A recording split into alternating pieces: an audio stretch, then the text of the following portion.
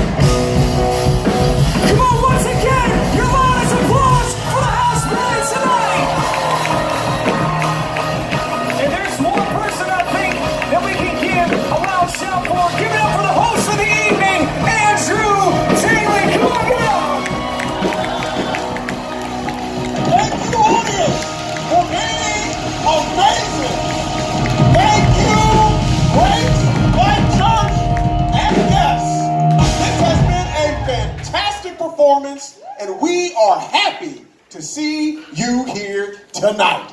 Now, I want you to give it up for our judges.